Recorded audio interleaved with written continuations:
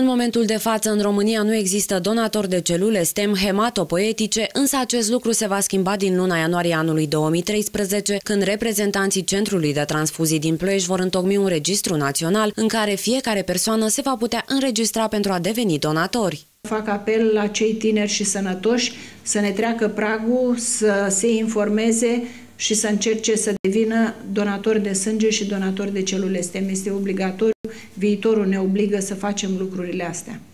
Pașii pe care o persoană sănătoasă trebuie să-i urmeze pentru a putea dona celule STEM sunt simpli. Primul pas pe care trebuie să-l facă este să ia legătura cu Centrul Donatorilor de Celule STEM Hematopoetice, indicat de registru și să facă o programare, după care trebuie să completeze un chestionar medical și să-i se facă analizele aferente. În cazul în care caracteristicile donatorului sunt compatibile cu cele ale pacientului bolnav, urmează procesul de recoltare a celulelor. În acest fel, fiecare persoană poate contribui la salvarea unei vieți.